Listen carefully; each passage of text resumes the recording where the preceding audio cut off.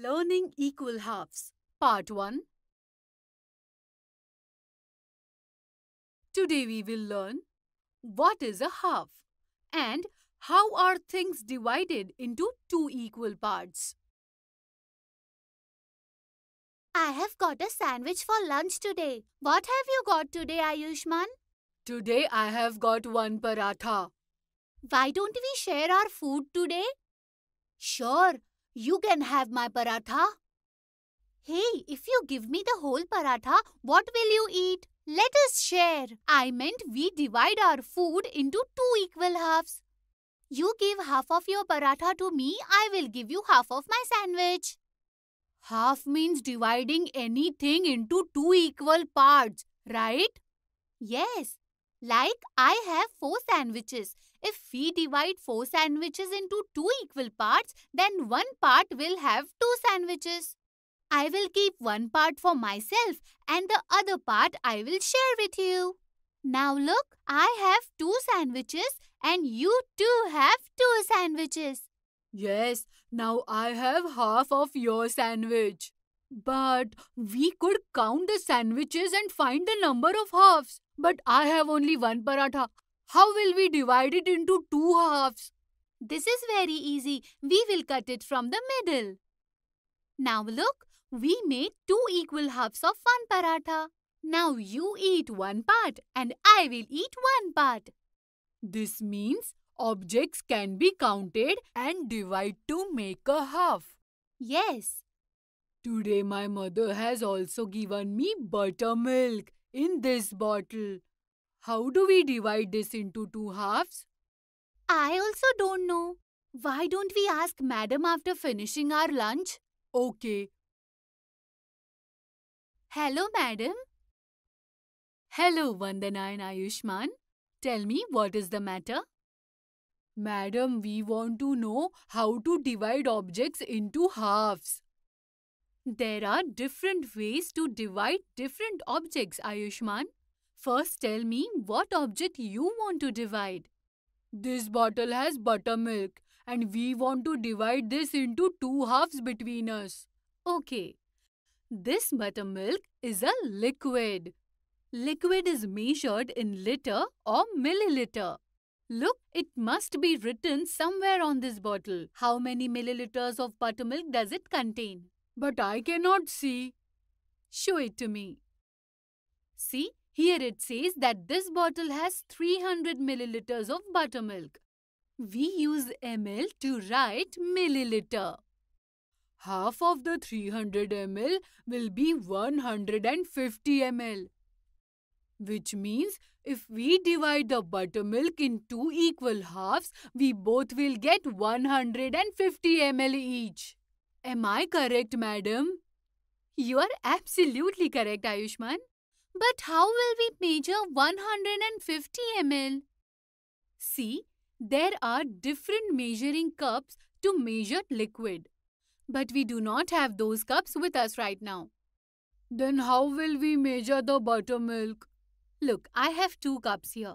A normal size cup is approximately 150 ml. You can pour the buttermilk in both these cups. Okay. Both the cups are completely filled. This means that the buttermilk has been divided into two equal parts. Now we have learned to divide all types of objects into halves. No, you still haven't learned to divide all types of objects into halves. What objects cannot be divided into two equal halves? Tomorrow I will get those objects that you haven't learned to divide into two halves. Only then I will tell you about them. Now you both please go to your class as it's time for your class. Yes, madam. We will come tomorrow. Today we learned that to divide an object into two halves means to divide it into two equal parts. Some objects can be counted and divided into halves. Like Vandana had four sandwiches, so we counted them and divided them. Some objects are divided on the basis of their size, such as the paratha. and liquid is measured in liter or milliliter to be divided into two equal halves.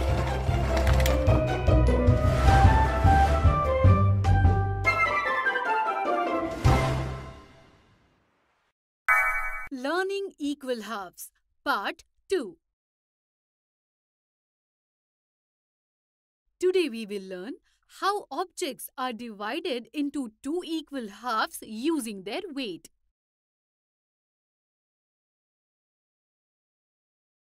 Come Ayushman and Vandana, I knew you both would definitely come. Madam, have you got those objects that we have not learned to divide into two equal halves? Yes, Ayushman, I have got them. Then show them to us, madam. Look, Vandana, I have kept those objects here. What is there in these boxes? Dal and besan. Yes, dal and besan. Tell me, how will you divide dal and besan into two equal parts? We can divide dal into two parts because we can count dal. Okay, please try. I will start counting from this pile of dal. One, two, three, four, five, six, seven, eight. Mm, this pile is huge. By the time I finish this, it will be late in the evening. This is not the right way to measure dal. This means this is not the way to divide dal into two equal halves. We can neither cut nor count it and unlike the liquid, we cannot measure besan. So how do we divide besan? Just like we use liter to measure liquid, we use gram to measure solid objects. Objects like dal, which are not easy to count, and objects like besan that cannot be counted are measured in grams. This means after measuring besan in grams, we can divide it into two halves? Yes. If you have 500 gram besan, then you can divide it into 250 grams each. But madam, how do we measure objects in grams? We use a scale and weights to measure in grams. What is a weight, madam? Weights are iron pieces of different grams which are made by taking the accurate measure. Weights come in different measures of 50 grams, 100 grams, 250 grams, 500 grams, 1000 grams, etc. Look, the thing you want to measure is kept on one side of the scale and one or more weights depending upon the requirement on the other side. When both sides are in balance, this means that the weight on both sides are equal. When both sides are equal, we calculate the weights added. The weight of the item is the same as the weights added. The weight of this dal is 500 grams. Now to divide this into two equal parts, we will measure 250 grams. For this, we will keep 250 gram weight on one side of the scale and we will keep adding dal on the other side of the scale till both sides of the scale are balanced. Look, now there is 250 gram dal on one side of the scale. In this way, we can divide solid objects into equal halves. I have understood, madam. Some objects have to be measured using weights to divide them. Absolutely right, Vandana. Now it is time for your class, so please go to your class. Today you've learned that some objects are divided into half based on their weight. A scale and weights are used to measure the weight of any item.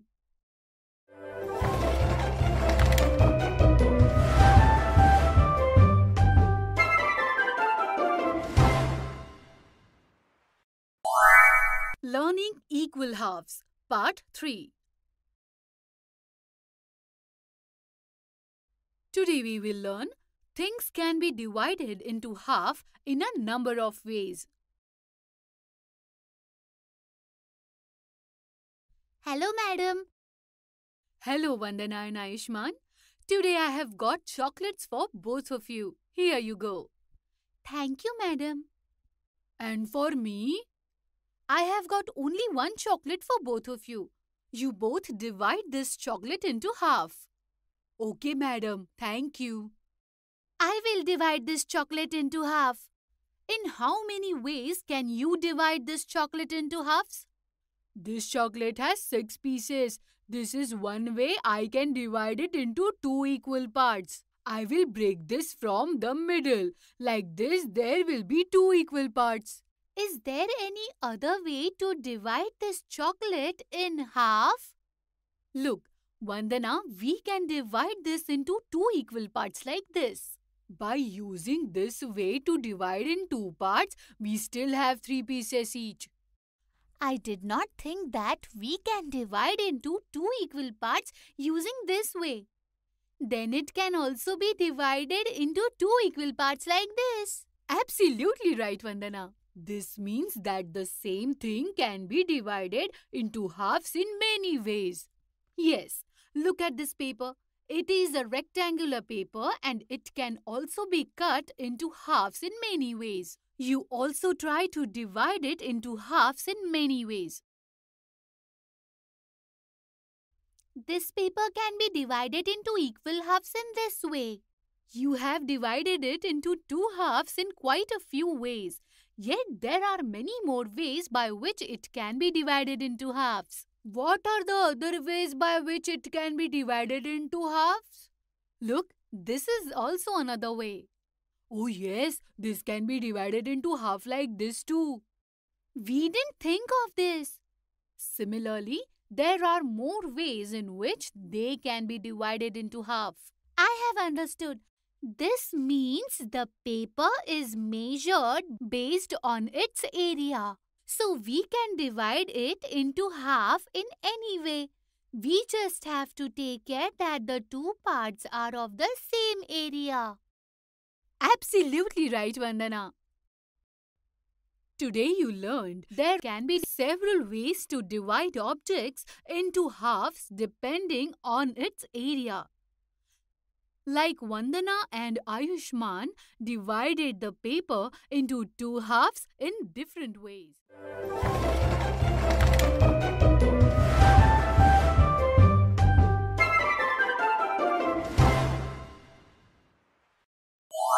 Equivalent fractions Part 1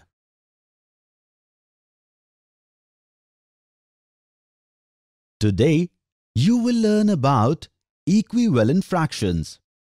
Reyansh and Vandana are playing at Vandana's house today. Mummy brought a chocolate for both of them. I brought a chocolate for both of you. You both should share and eat it. Vandana, you should eat one half portion of it, and Reyansh, you eat two fourths of it. And then give me the chocolate that is left. Mother, why so? Why will Reyansh eat more? Why shouldn't we both eat equal quantity? Why don't you first distribute the chocolate in one half and two fourths parts? And then distribute in the way you said, Vandana. Okay, Auntie, we will distribute and see. You kids share, then call me. I will come to take my share of the chocolate. Auntie said that you will take one halves of it. One halves means one of two equal parts of the chocolate. By dividing this chocolate into two equal parts, you will get four pieces in each part. And you will get one part, that is, you will get four pieces of this chocolate. I will get four pieces of this chocolate. Now we have to see how many pieces you will get from this chocolate. Mummy said that you will get two four parts of this chocolate. That is, if you make four equal parts, you will get two parts. If you make four equal parts of this chocolate, there will be two pieces in each part. Now when you will receive from two of these four parts, you will get four pieces. What is this? You got four pieces in one half of the chocolate and I got four pieces in two fourth of the chocolate. Four pieces belong to you and four pieces to me. This means we both get equal share of the chocolate. Hey, there is nothing left for mummy. I understood that auntie knew that there would be four pieces of chocolate in both one halves and two fourth part for us to eat. So she asked us to distribute chocolate like this. That means one halves and two fourths are equal? Seems like it. So tell me, how much chocolate do I get? Mummy, there is no piece of chocolate for you. And we have also understood that one halves and two fourths are equal. Reyansh and Vandana, you should split the chocolate into two halves and four fourths and find out how many pieces of chocolate both of you get. Two halves means both of parts of the two equal parts of this whole chocolate. That means the whole chocolate. Absolutely right, Reyansh. Now, Vandana, tell me how much four fourths of this chocolate will be? Four fourths means four parts out of four equal parts of this chocolate. That means it will also be full chocolate. Absolutely correct. This means that two halves and four fourths are equal quantities, but these two are different fractions. Yes, what this means is that we can write half of a chocolate in different ways, like one halves, two fourths, three sixths. Mummy, the numbers written are different in these fractions, yet these fractions are showing the same quantity of chocolate. What are such fractions called? When different fractions show the same quantity of a substance, they are called equivalent fractions. You will learn them in detail in further classes. I got it, Mummy. Okay, now you two kids play. Today we learned that some fractions may be the same even if different numbers are used in fractions. When two fractions represent the same quantity of a substance, they are called equivalent fractions. Hence, different fractions can be used to denote the same quantity. Example, in order to represent half of chocolate, one can write one halves and also two fourths.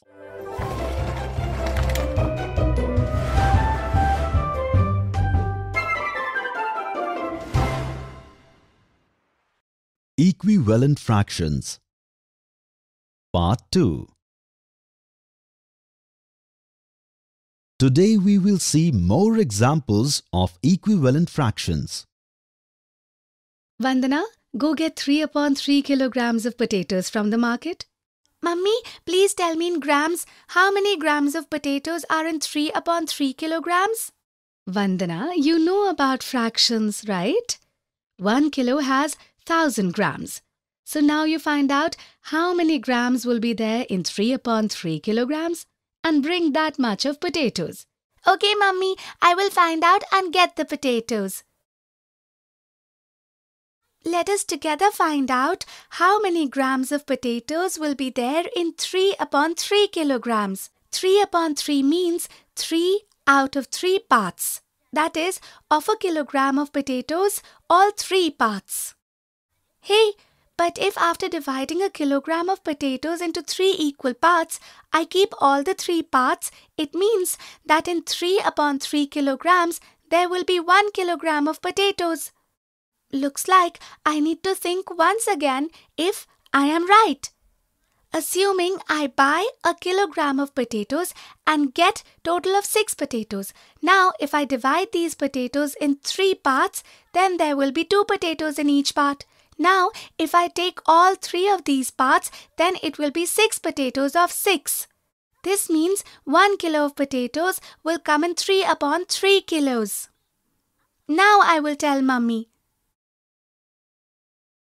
Mummy, I have discovered that 3 upon 3 kilograms of potatoes will be 1 kilogram of potatoes. Well done, Vandana. Now go bring the potatoes too. I'll go, Mummy, but first I need to know something. Tell me, what do you want to know? Just like 3 upon 3 kilo has 1 kilo of potatoes, I think 2 upon 2 will also have 1 kilo of potatoes because by dividing a kilogram into two equal parts, both its parts will be written together as 2 upon 2. Yes, Vandana. When there is the same number in the numerator and denominator, then it means we are talking about the whole quantity. Oh, this means that 3 upon 3 and 2 upon 2 are equivalent fractions. Yes, Vandana. 3 upon 3 and 2 upon 2 are equivalent fractions.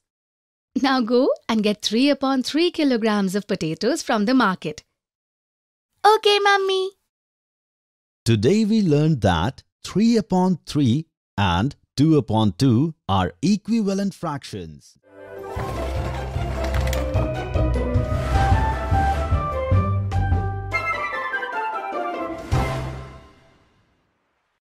Equivalent fractions Part 3 Today we will do an activity related to equivalent fractions. Vandana learned about equivalent fractions yesterday. Today, she is discussing it in order to understand it well. Yesterday we learnt that 1 halves, 2 fourths are equivalent fractions. To understand this concept well, we can draw its explanation. Like 1 halves means one of the two equal parts so I will make a rectangle and divide it into two. This is one half of it. Now in order to find the two fourths of this rectangle, first I will divide it into four equal parts. Now two of these four parts will be two fourths of this rectangle. Yes, now I can say that one halves and two fourths are showing the same size. So they are equivalent. Just like this, we also got to know that 3 upon 3 and 2 upon 2 are equal. We should check the equivalence of these two fractions too following the same way. For 3 upon 3, I have to divide this rectangle into 3 equal parts. Now 3 of these 3 parts will represent 3 upon 3. Now to show the 2 upon 2, I will make two equal parts of this rectangle. And these two parts will show the 2 upon 2. Now if we look at these two, we will come to know that 2 upon 2 and 3 upon 3 are equivalent because both are showing same quantities. Now I understand how these two fractions are equivalent. Today we learned how with the help of a rectangle you can check whether the fractions are equivalent or not.